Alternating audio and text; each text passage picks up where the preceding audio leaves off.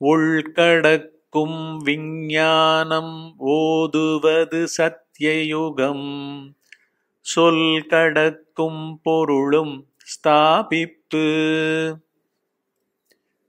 நானற்ற மனமற்ற பிரபஞ்சமற்ற ஆழ்ந்த உறக்க அனுபவம் எந்த தனி மனிதருடைய தத்துவ ஆராய்ச்சியும் அல்ல. அதுவே தமிழ்நாட்டில் காலங்காலமாக ஆன்மீகம் லௌகீகம் என்று பிரிக்கப்படாது உபதேசிக்கப்படுகின்ற ஒவ்வொரு தனி மனிதனும் தினம் அனுபவிக்கும் உள்கடந்த முடிந்த கடவுள் அனுபவம் முடிந்த ஞான அனுபவம் அவ்வளவே. அருணாச்சல ரமணன் குரல் ஒன்று ஆன்ம விஞ்ஞானம் அகக்குரல் திரட்டு அதிகாரம் சத்தியயுகம் ஸ்தாபிப்பு. லீடு முப்பது. விளக்கம் முப்பது. மரணமில்லா பெருவாழ்வு கலை. The art of deathless eternal living thirty explanation thirty கடைசி வரை சொல்லுபவை அனைத்தையும் அப்படியே உள்வாங்கிக் கொள்ளுங்கள். வாழ்க்கையாக மாற்றிக்கொள்ளுங்கள் குருவே சரணம் குருவே துணை வணக்கம் ஐயா. அருண் திருப்பூரில் இருந்து. அவருடைய கேள்வியை அந்த ஸ்லைடில் பார்க்குறீங்க நீங்கள் எண்ணங்கள் அதற்கு அடிப்படையாக உணர்ச்சிகள் அதற்கு மூலமாக நான் பாவம் என்று நீங்கள் சொல்லியுள்ளீர்கள். ஐயா இப்பொழுது என் சந்தேகம் ஏன் நான் பாவம் உதிக்கிறது? நீங்கள் கூறுவது போல் உதிக்கும் இடத்தை பார்த்தால் மறைகிறது ஆனால் மீண்டும் சிறிது நேரம் கழித்து உதிக்கிறது. ஐயா இந்த பிரபஞ்சம் பொய் என்று நீங்கள் கூறியுள்ளீர்கள். அப்படியென்றால் ஏன் இந்த பொய்யான பிரபஞ்சம் மீண்டும் மீண்டும் மெய்யாக உதிக்கிறது. நான் உங்களோடு ஞான பாதையில் வந்து கொண்டு இருக்கின்றேன்.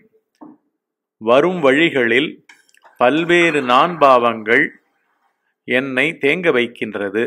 தொடர்ந்து தடையில்லாமல் செல்ல என்ன செய்ய வேண்டும் என்று சொல்லுங்கள். நன்றி ஐயா.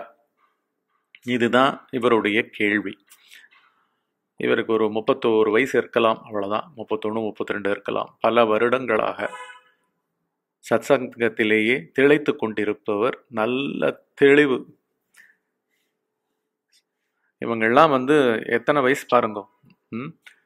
அந்த மாதிரி வந்து அவர் வந்து அவ்வளோ தெளிவு. கிளியர் எல்லாத்துலேயும். வாழ்க்கையை பற்றி எல்லாத்துலேயும். இப்போ வந்து நேர கேள்விப்படும்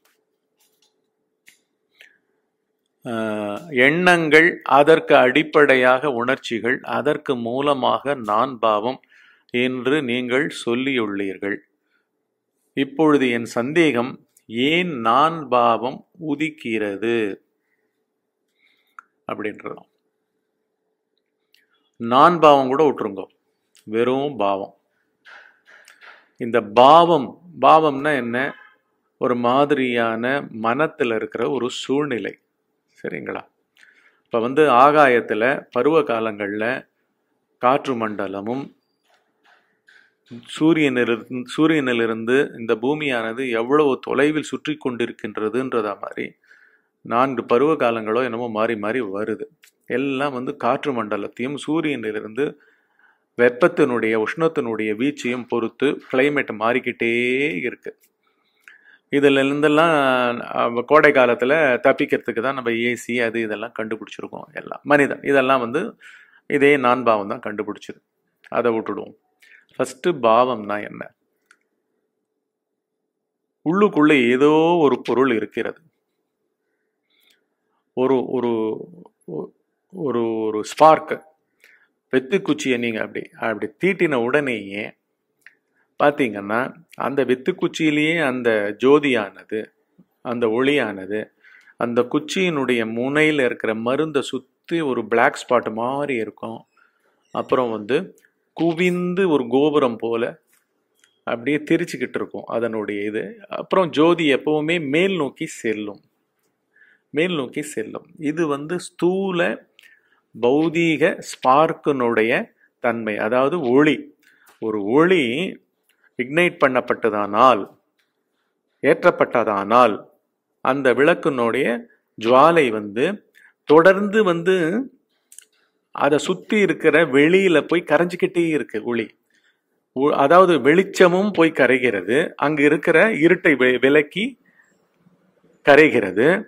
அப்புறம் அந்த உஷ்ணமும் வந்து ஸ்பார்க்கும் வந்து அந்த வெட்ட வெளி ஆகாசத்தில் கரைஞ்சிக்கிட்டே இருக்கு. அதை போல வந்து உள்ள வந்து எல்லையற்ற ஒரு பேரிருப்பு ஒன்று இருக்கு. அது வந்து குவாண்டம் பார்ட்டிகல்ஸ்க்கெல்லாம் கீழே கூட அதுக்கெல்லாம் கீழே கூட இருக்குது அதை வந்து நம்மளுடைய மெய்ஞானிகள் வந்து கண்டுபிடிச்சிட்டாங்க. என்ன கண்டுபிடிச்சிட்டாங்கன்னா உள்ளே இருப்பது ஒரு பெரிய பொருள். அது ஒன்று தான் இந்த பிரம்மாண்டமான பிரபஞ்சமாக பிரபஞ்சமா இருக்கிறது. பஞ்ச பஞ்சபூதங்கள்லேருந்து சகலமான கோள்கள் நட்சத்திரங்கள் எல்லாம் எல்லாமுமே அதனுடைய வெளிப்பாடு. அதனுடைய அது உள்ளுக்குள்ளே எப்படி வந்து நான் இப்போ சொன்னேன் ஒரே ஒரு ஒரு ஜோதி வெத்துக்குச்சியில் கீத்தினீங்க. இல்லாட்டி விளக்காய் ஏற்றிட்டீங்க அந்த வெளி வெத்துக்குச்சியில் இருக்கிற மருந்தும் அந்த வெத்துக்குச்சின்னு சொல்லப்படுற அந்த குச்சியில் இருக்கிற சக்திகள் அனைத்தும் இருக்கிற வரைக்கும் அது அப்படியே எரிஞ்சுக்கிட்டே வருது. மேல் நோக்கி எரிகிறது. எரியும் பொழுதே கலந்து கொண்டும் வருகிறது வெட்ட வெளியில். கரைந்து கொண்டும் வருகின்றது.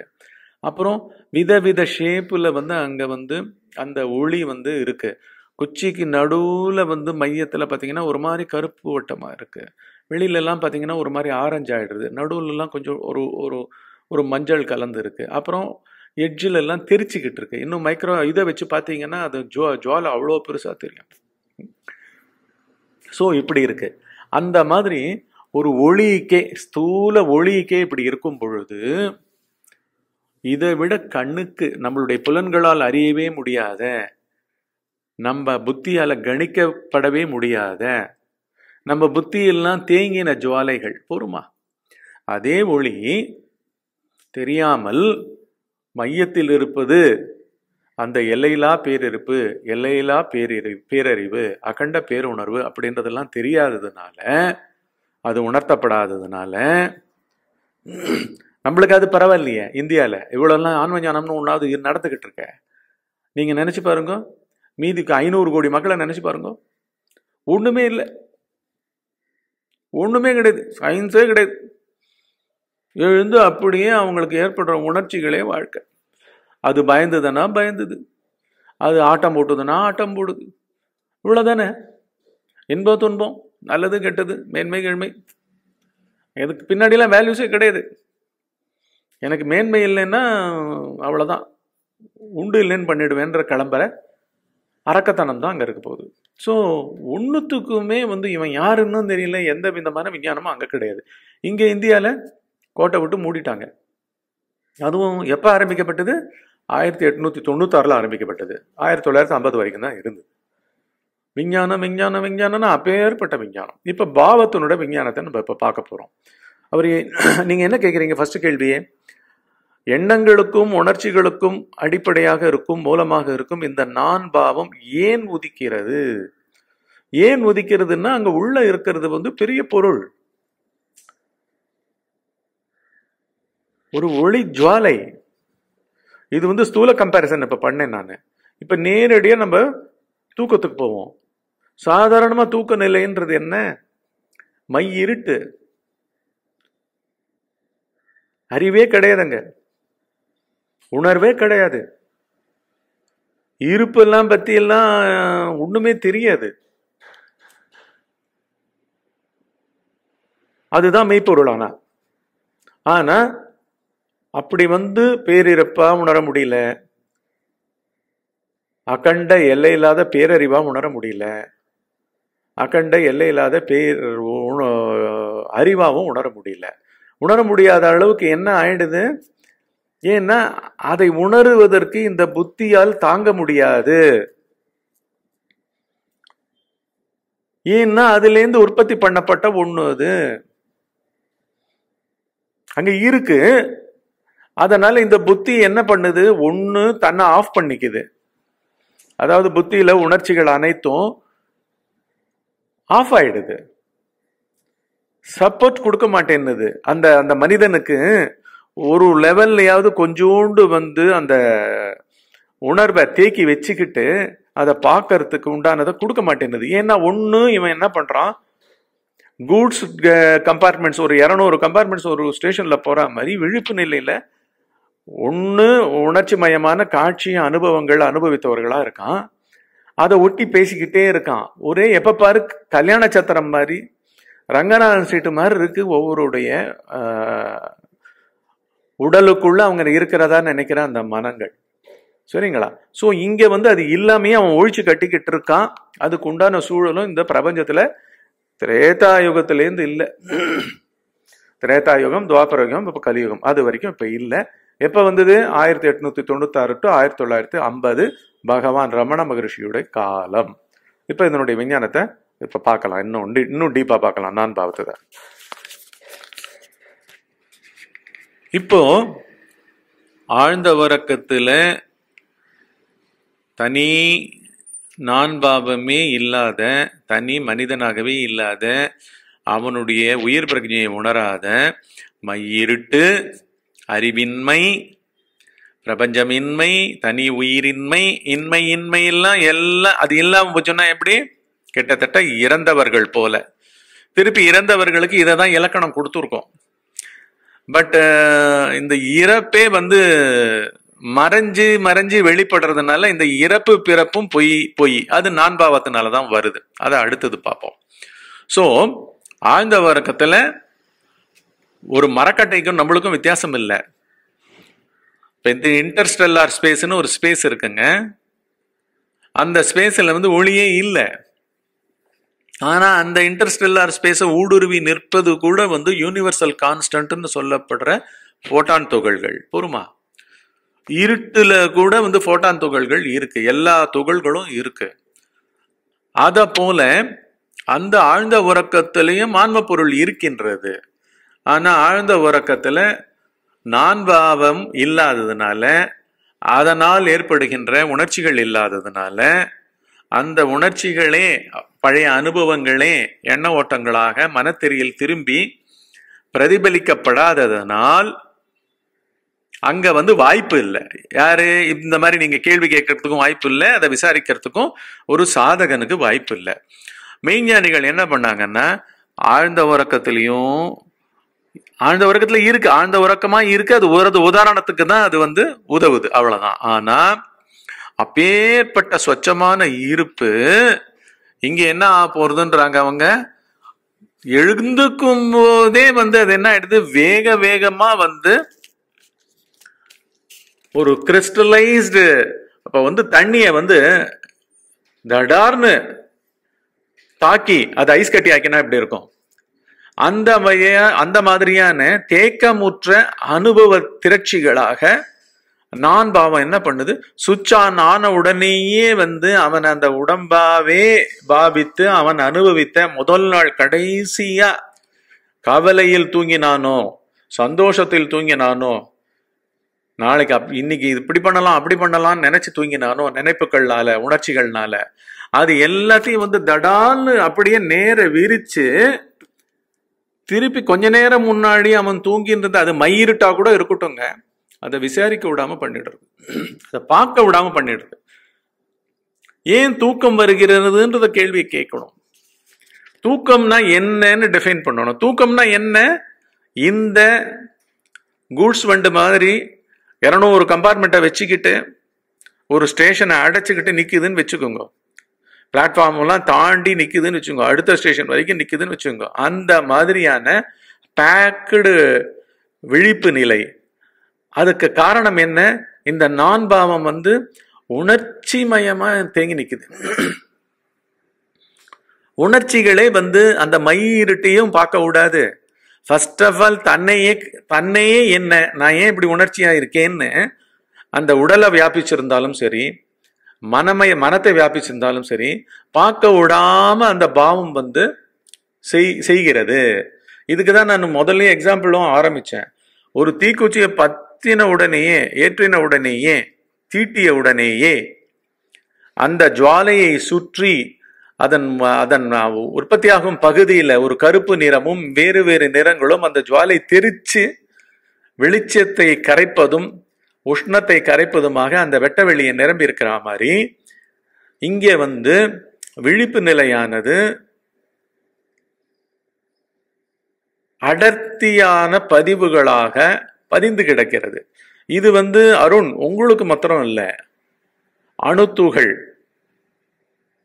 dark energy dark matter before big bang இன்னும் பதிமூணு புள்ளி ஏழு பில்லியன் வந்து இன்னும் இருபது பில்லியன் வருடம் கூடக்கும் வாழட்டும் இந்த ஜகம் இந்த பிரபஞ்சம். எல்லாமுமே வந்து இந்த மாதிரியான கூட்ஸ் ட்ரெயின் மாதிரி அடர்த்தியாக அதான் சொன்னேன் தண்ணியை திடீர்னு ஃப்ரீஸ் பண்ணி அப்படியே பாறை ஆக்கினா எப்படி இருக்கும்?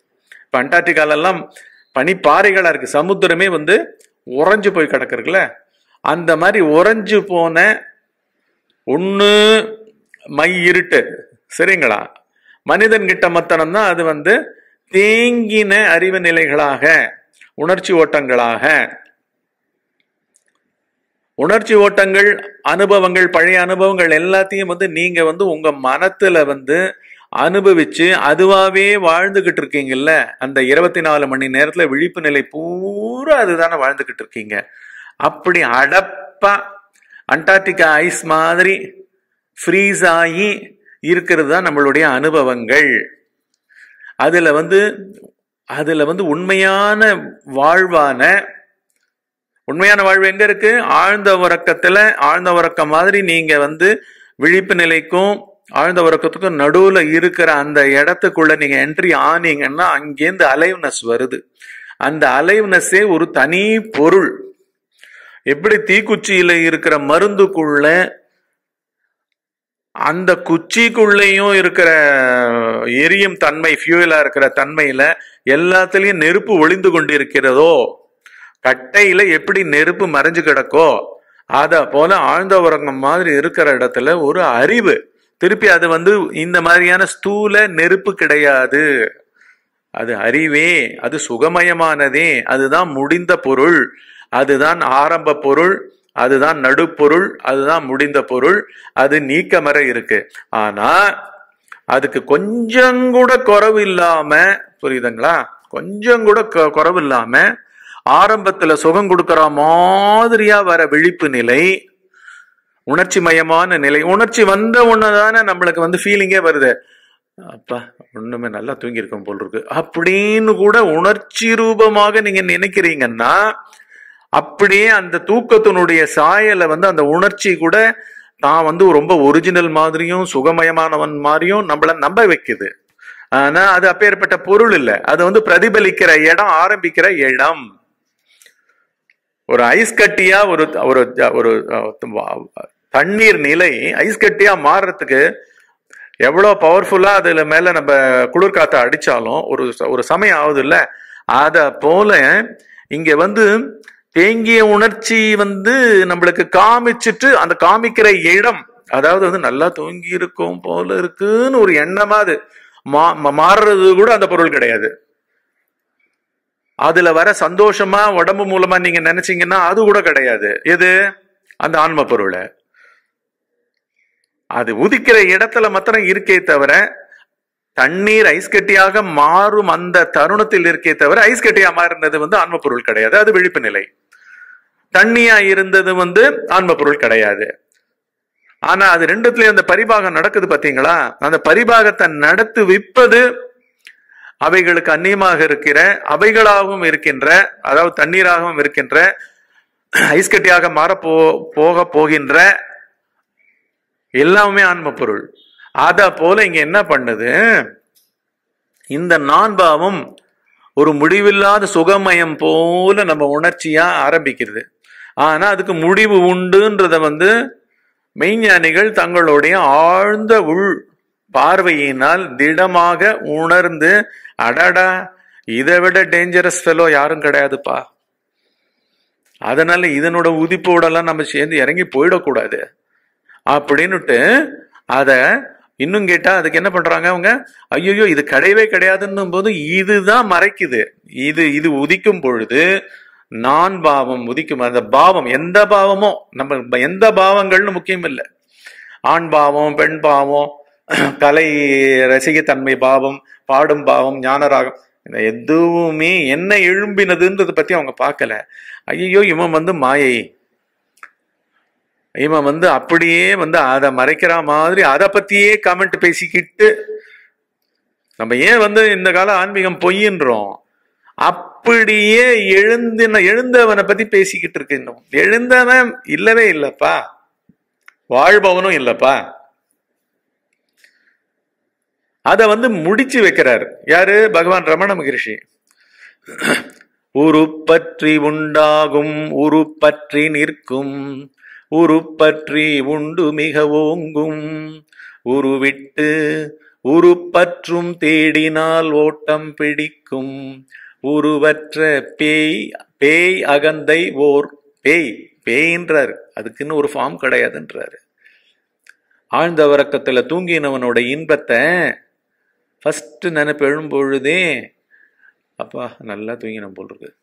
நல்லா தூங்கினோம் போல இருக்குன்னு சொல்கிறது என்னை பற்றி நானே சொல்லிக்கிறேன். நம்மை பற்றி நாமே கற்பனையா கருதுது அந்த கற்பனை அங்கு இல்லை. அந்த கற்பனையை ஒலி வடிவமாக அவரவர்கள் பாஷையாக ஆக்கும் தன்மை இல்லை. அதை உணர்வதற்கு அந்த உடம்பு கூட அங்கு இல்லை. ஆழ்ந்த உறக்கத்துல இல்லாத உடம்புல இல்லாத எண்ண ஓட்டங்கள்ல இல்லாத புத்தியினுடைய உணர்ச்சி பாவங்கள்ல கழிப்பு நடந்திருக்குன்னா அதை வந்து இவங்களுக்கு பேசுறதுக்கு எப்படி அருகதை இருக்கு? இது பேர் தான் நான் பாவம் போருமா இது ஏன் உதிக்கிறது? ஏன் உதிக்கிறதுன்றது காரணம் வந்து அதனுடைய மகாத்மியம் தான் தீக்குச்சிக்குள்ள அதனுடைய எட்ஜில் இருக்கிற அந்த மருந்துக்குள்ள தீப்பொறி உரசினா உண்டாகக்கூடிய அந்த பாசிபிலிட்டியை மருந்தாவே வச்சிருக்காங்க. பிளஸ் குச்சியும் எரியும் வஸ்து. ஃபியூயலாக இருக்கும் ஒரு வஸ்து. ஸோ ரெண்டும் சேர்ந்து நம்மளுக்கு ஒரு ஸ்பார்க்கை ஜஸ்ட் லைக் தட் கொடுக்கறதுக்கு அதுக்குள்ளே இருக்குது தட்டையில ஏற்கனவே இருக்கு. காட்டுல ஏன் மரங்கள் பத்திக்குது? உஷ்ணத்தினால வரசப்படும் பொழுது ஒரு இதுல வந்து புல்லு வந்து இமீடியட்டா it succumbs to become fire it is lit புரியுது? The spark is ignited inside a grass grass shoot உணர்ந்த இதுல புல்லுல. அப்படியே காட்டு தீயா அது எல்லாம் ரெடியா இருக்கல உள்ள இல்லாமையா வெளில வந்திருக்கும். ஸோ இங்கே ஆழ்ந்த உறக்கம் போல இருக்கிற ஒரு பெரிய பொருள். பெரிய பொருள் இருக்கு அப்படின்னு கண்டுபிடிச்சு கையில எடுத்து கொடுத்தவர் நம்ம ரமண மகரிஷி. சரி அதுக்கு வந்து ஆரம்பம் கிடையாது நடு கிடையாது. இப்ப வந்து இந்த தூக்கத்துல நம்ம வந்து அறியாமையிலேயே கூட தூங்கிட்டு இருக்கோங்க. நம்ம நிஜமாவே வந்து உண்மை பொருள் அங்க இருந்ததுன்னு உணரல இன்னும். அப்ப அது பேர் என்ன? ஒவ்வொரு நாள் தூக்கமும் அதை பற்றி விழிப்பு நிலையில் நாம் செய்யும் விசாரங்களும் எல்லாமுமே மை இருட்டை பத்தி தான் நம்ம விசாரம் பண்ணிக்கிட்டு இருக்கோம். அந்த மை இருட்டுக்கு கூட எப்ப ஆரம்பம் வந்தது? எப்ப தூங்க போனீங்கன்னு சொல்ல முடியுமா? தூங்கும் தன்மை என்ன? உங்களுடைய எண்ணங்கள் வந்து போச்சு உங்களுடைய பிரஜையே கழடி போச்சு உங்ககிட்ட இந்த உங்க உங்க உங்கன்னு அந்த உங்க தானங்க வந்து பொ- பச்சை பொய்யான விஷயம். சரி. அந்த உங்கன்னு சொல்லப்படுறது வந்து மறைஞ்சு எல்லாம் மறைஞ்சு போய் அந்த இடத்து அந்த இடம் ஒன்று மற்றதாக ஒரு இருட்டு ம- இருட்டு பிரதேசமாகவும் அச்சலத்தன்மை கொண்டதாகவும் என்னவோவாகவும் இருக்கிறது. அதுக்கும் திருப்பி ஆரம்பமும் இல்லை நடுவும் இல்லை. தூங்கும் பொழுது எதான ஆரம்பம் இருந்ததா? நடு இருந்ததா? முடிவு இருந்ததா? எல்லாம் பிரேக் பண்ணப்படுகிறது. பாத்தீங்கன்னா அந்த அளவுக்கு தூக்கமும் வந்து பிரேக் பண்ணுது விழிப்பு நிலைய. இப்ப நம்ம எப்படி தூக்கத்துக்கு போறோம்? அப்படியே மயங்கி போய் விழுறோம் ஒவ்வொரு நாளுமே வந்து மயக்கத்துல போய் அப்படியே விழுறோம் நம்ப முடியலன்னு சொல்றது இல்ல தாட்ஸே அங்க இருக்க விரும்பல. ஏன்னா அதுவும் பொய். விழிப்பு நிலையும் பொய். கனவும் பொய். தூக்கமும் பொய். மொத்தமே மயக்கம். இந்த மொத்த மூன்று மயக்கங்களும் மாறி மாறி உருட்டிக்கிட்டு இருக்கு. ஒன்று வந்து கிறிஸ்டலாய் கிறிஸ்டலைஸ் ஆகி தண்ணீரானது ஐஸ் கட்டியான மாதிரி ஆகி படுத்திக்கிட்டு இருக்கு.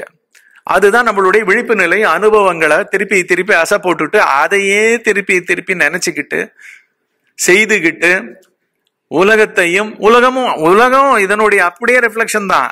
நம்ம கிட்ட என்ன நான் பாவம் பண்ணுதோ பாவங்கள்லாம் எப்படி நம்ம கிட்ட உலவிக்கிட்டு இருக்கோ அதுவே தான் அங்க உலகத்துல இருக்கு. ஒரு ஒரு தண்ணீர் வந்து அண்டார்டிகால அப்படியே அந்த காலத்துல டிசம்பர் மாதங்கள்ல ஒரு ஆறு மாசம் எல்லாம் நார்த் போல் சவுத் போல் போல் எல்லாம் வந்து உறைஞ்சிடுது. சூரியன்ல இருந்து தூரம் இருக்கும் பொழுது உத்தராயணத்துல நார்த் போல் ஆறு மாசம் வெளிச்சமா இருக்கு. தட்சிணாயனத்துல தட்சிணாயனம்னு என்ன? பூமி வந்து சூரியனை நோக்கி சுற்றும் பாதை. தட்சிணாயனம்னா தெற்கு பக்கம். தெற்கு பக்கத்துல தெற்குல இருக்கிற துருவங்கள் வந்து உடனே ஒளிமயமா ஆயிடுது ஆறு மாசம் ஒளிமயம் தென் துருவம் ஆறு மாசம் ஒளிமயம் வட துருவம் அப்படின்னா மீதி ஆறு மாசம் அங்க ஒரே பனி பனி பொழிவு வரலாறு காணாத பனிப்பொழிவு. எல்லாம் மைனஸ் தான். உறைஞ்சு கிடக்கு. அத போல இந்த விழிப்பு நிலை உறைந்து கிடக்கின்ற நிலை. சத்தியமாக நம் உடலை சத்தியமாக நினைத்து நம்ம நாம் பழைய பதிவுகள்ன்றது கூட தெரியாத அளவுக்கு ஆரம்பம் நடு முடிவு இல்லாத மாதிரி விழிப்பு நிலைக்கு வந்த உடனே நம்ம என்ன பண்றோம்? பிரேக்கே பண்றது இல்லை அதே மாதிரி தூக்கத்திலையும் வந்து தூங்க ஆரம்பிச்சு ஆரம்பம் நடு முடிவுன்னும் கிடையாது. புரியுதுங்களா? ஆனா விழிப்பு நிலை வந்து பிரேக் பண்ணுது. இதுக்கு நடுவுல கனவுன்னு ஒண்ணு. கனவும் வந்து என்ன ஆகுது?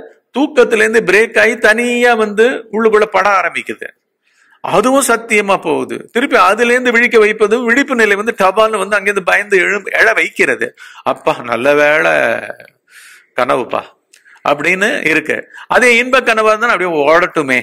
அப்படின்னு திருப்பி அதுல ஒரு ஒரு ஒரு என்னன்னு சொல்றது ஒரு தடித்தனம் வருகிறது.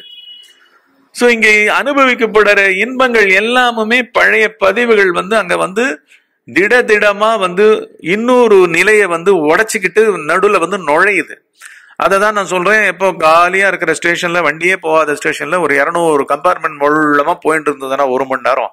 அந்த மாதிரி போறது ஒரு விழிப்பு நிலை. அதே மாதிரி இன்னொரு நிலை பேர் கனவு நிலை. இது ரெண்டுமே இல்லாமல் ஸ்டேஷனே யாருக்குடான்ற மாதிரி அதுல என்னடா மௌனம் யாரா அனுபவிக்கிறாங்க? ஸ்தூல பிரதேசத்துல இருக்கிற மௌனத்தை அனுபவிக்கிறவன் எவன்டான்ற மாதிரி நம்ம உடம்பையே ஒரு ஸ்தூல மயான காடு போல ஆக்கி தூங்குவதே ஒரு இறப்பு போல ஆக்கி அங்க இருக்கிற அந்த மௌனத்தையோ அச்சலத்தன்மையோ உணர விடாம ஒரு மை இருட்டும் உணர்வற்ற நிலையும் உயிரற்ற நிலையுமாக ஒண்ணு இருந்துகிட்டு இருக்கு. சோ இது அப்படின்னா அவங்க கண்டுபிடிச்சவங்க எப்பேற்பட்ட ஜித்தர்களாக இருப்பாங்க பாருங்க. யாரை சொல்றேன் நான்? நம்ம ரமண மகரிஷியே சொல்றேன். ஸோ இங்கே வந்து இதே வந்து தான் வந்து நம்ம தமிழ்நாட்டில் வந்து உள் கடப்பா. உள்ளு தான்ப்பா இல்லை. இந்த உள்ளு உள்ளு வந்து ஒன்று என்ன ஆகுது? உள் கடந்து ஒன்று தூக்கமாக போயிடுது. இல்லாட்டி உள் கடக்காம இருந்தேன்னா ஒரே உள்ளு ஒரே தாண்டவம் ஆடுது. உள்ளு தான் அதாவது என்ன? பாவங்கள் தான். அதனால உற்பத்தி பண்ணப்பட்ட உணர்ச்சிகள் தான். அதனால விவகரிக்கின்ற எண்ண ஓட்டங்கள் தான். இது எல்லாமே திருப்பி வந்து இந்த உள்ளா இருக்கிறதுன்றது வந்து இங்கே எடுத்த சரக்கை திருப்பி திருப்பி போட்டு போட்டு போட்டு படம் பார்த்துக்கிட்டு இருக்க மாதிரி ஒவ்வொரு உடம்பா மாறி அதுவே பார்க்குது.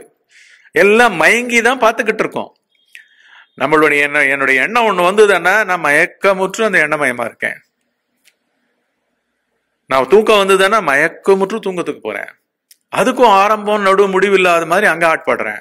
கனவு ஆட்பட்டாலும் ஆரம்பம் நடு முடிவு இல்லாத மாதிரி ஆட்படுறேன். ஆனா இன்னொரு நிலை வந்து டபால் வந்து போறது. அப்படின்னா என்ன?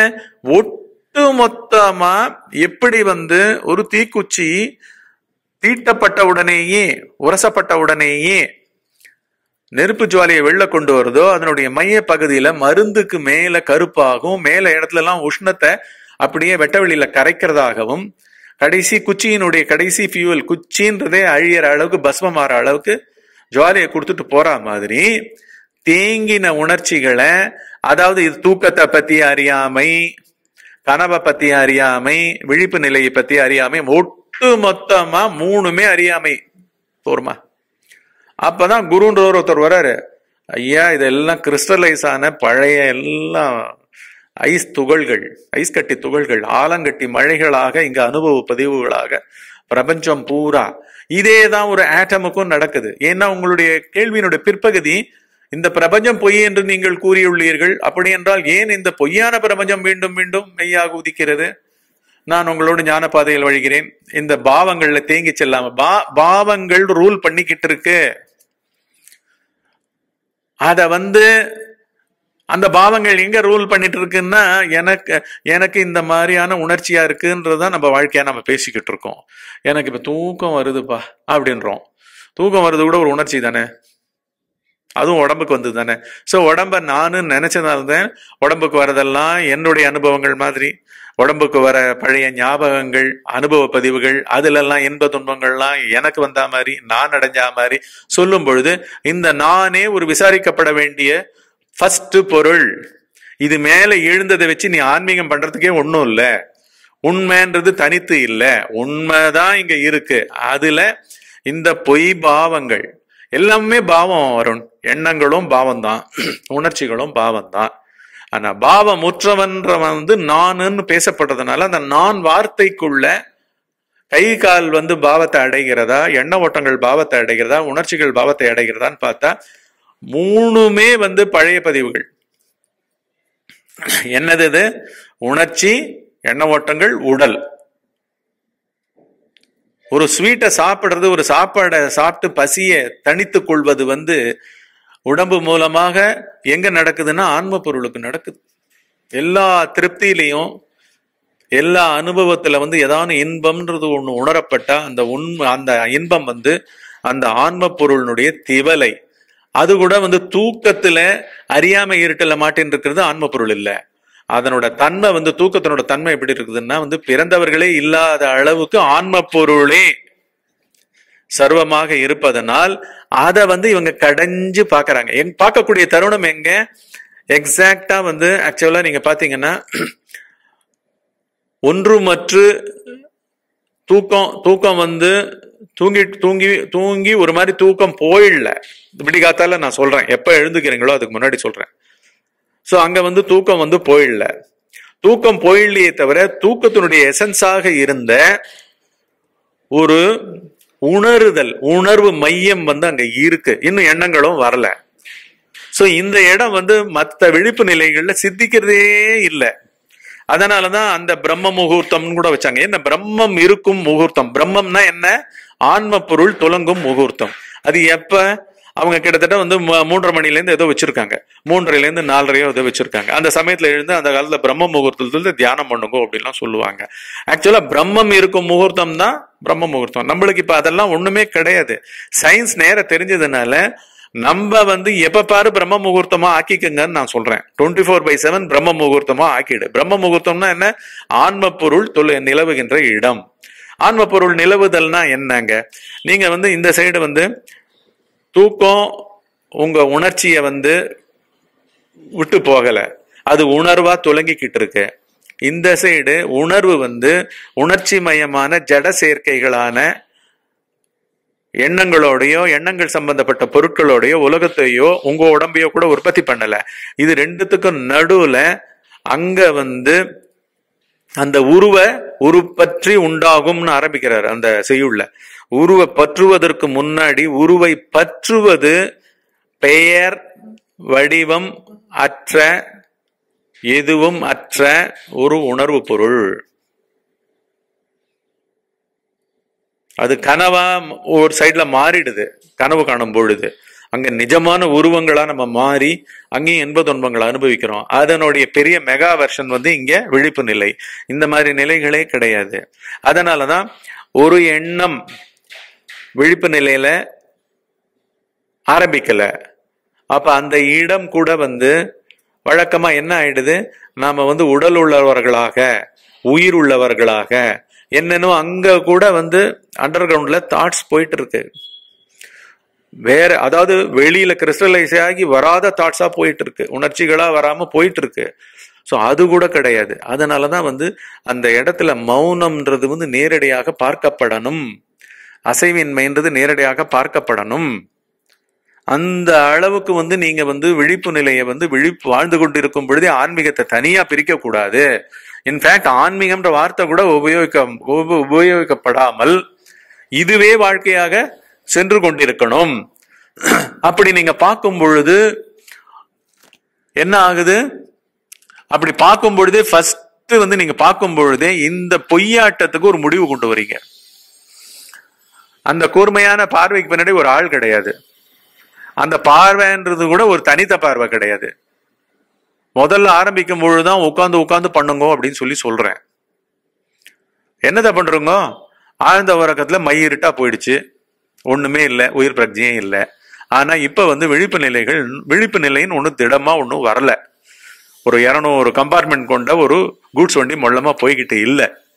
ஸோ எதுவுமே கிடையாது. அப்போ இருக்கிறது வந்து ம- வேணால் பாசிபிலிட்டி இருக்குது ஒன்று திருப்பி வந்து எண்ண ஓட்டங்களாக மாறும் உணர்ச்சி ஓட்டங்களா மாறும். இல்லாட்டி அந்த சைடு தூக்கத்துக்கு போகும்.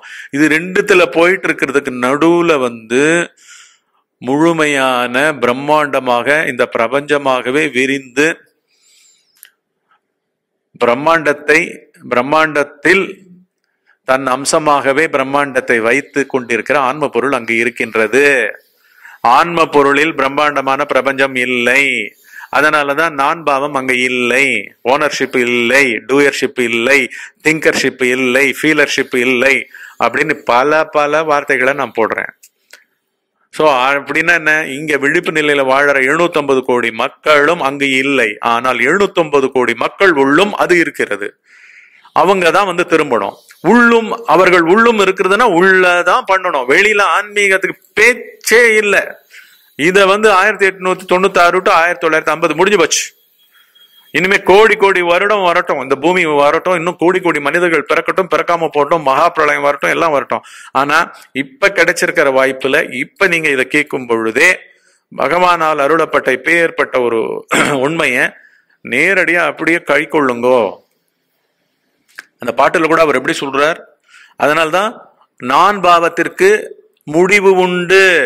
ஆனா ஆன்ம பொருளுக்கு முடிவு இல்லை.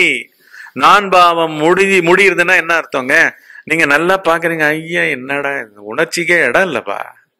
உணர்ச்சியே இல்லப்பாங்க. நீங்க வந்து சகஜமா உட்காந்து உள்ள பாத்துக்கிட்டு இருக்கீங்க. அப்ப என்ன தெரியுது? ஐயா இந்த உணர்ச்சியை மேலிட்டு நிறைய எண்ண ஓட்டங்கள் எல்லாம் வச்சுக்கிட்டு அந்த எண்ண ஓட்டங்களும் உணர்ச்சிகளையும் தவிர அங்க உலகம்னு ஒன்றும் கிடையாது. உங்க உடம்பும் கிடையாது. உங்க உயிரும் கிடையாது. அதை பத்திய நினைப்புகளா இருக்கணும். ஸோ இந்த மாதிரியான ஒரு தனியாக ஐசோலேட்டடாக ப்ராஜெக்ட் மாதிரி வாழ்ந்துகிட்டு இருக்கிற ஒரு விழிப்பு நிலை பிரம்மாண்டமான பிரபஞ்சம் அதில் வாழும் தனிநபர்களாக 750 கோடி மக்கள் இந்த பூமியில இன்னும் அண்ட பேராண்டங்கள ஏகப்பட்ட உயிரினங்கள் இருக்கு. இது எல்லாத்தையுமே முடிக்கிறது வந்து முடிக்கிறதுன்னா என்ன? உண்மையா? என்ன பொருள் வந்து? விழிப்பு நிலையும் கிடையாது. வெளிச்ச நிலைகளான நட்சத்திரங்கள் நட்சத்திரங்களுக்கு முன்னாடி கோள்கள் தங்களை சூழ்ந்து சூழ்ந்து வர பகல் பொழுதும் கிடையாது இருட்டு பொழுதும் கிடையாது. அப்படி அங்கு வாழுபவனும் கிடையாது. எல்லாமுமே மாய ஆட்டம். அந்த மாய ஆட்டம் வந்து ஒரு குரு இருக்கும் பொழுது முடிவுக்கு வருகிறது. அவர் முடித்து வைக்கிறார். தாங்களா முடிக்க முடியாதுங்க. முடிக்கவே முடியாதுங்க. எப்படி முடிக்க முடியும் சொல்லுங்க. என்ன எல்லா உணர்ச்சியும் சத்தியம் போல இருக்கும். இதை விட என்ன இருந்துரும் ஆன்மீகம்?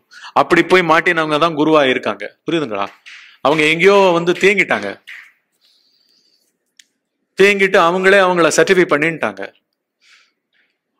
எல்லாம் மயக்கமா இருக்கும். எல்லாம் மயக்க நிலைகள் எல்லாம் வந்து உண்மை நிலைகள் மாதிரி பேசிக்கிட்டு இருக்காங்க. மயக்கமே கிடையாது இங்க.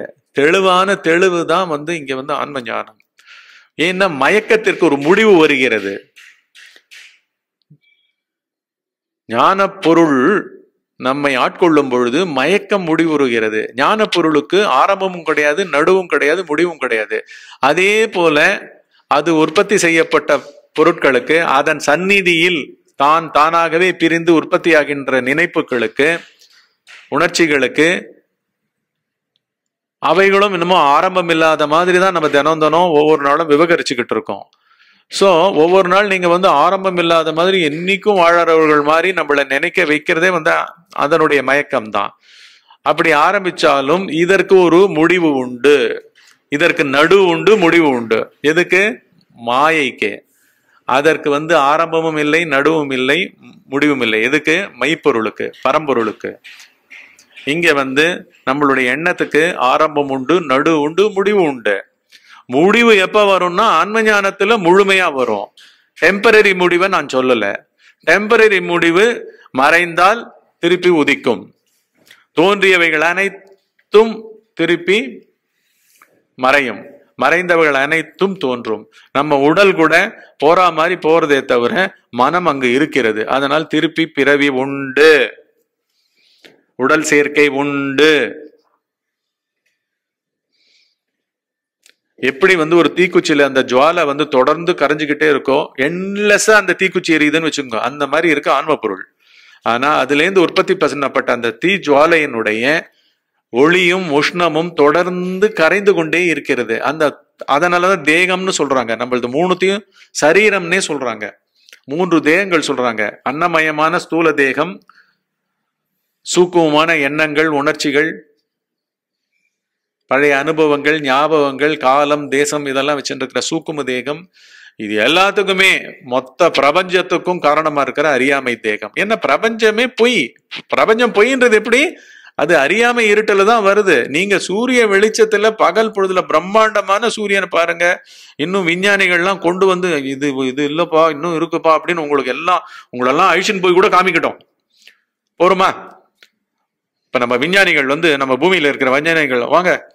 ஒரு ஒரு ஃபைவ் பில்லியன் இயர்ஸ் கழிச்சு அங்கே ஒரு பிக்னிக் ஸ்பாட் இருக்கு அப்படின்னு அழிச்சுன்னு போய் கூட உங்களை நம்ம எல்லாம் போய் காமிக்கட்டும். சரிங்களா? ஒளி வேகத்தெல்லாம் நம்ம கடந்து போகலாம் நான் அழிச்சிட்டு போறேன் வாங்கோ.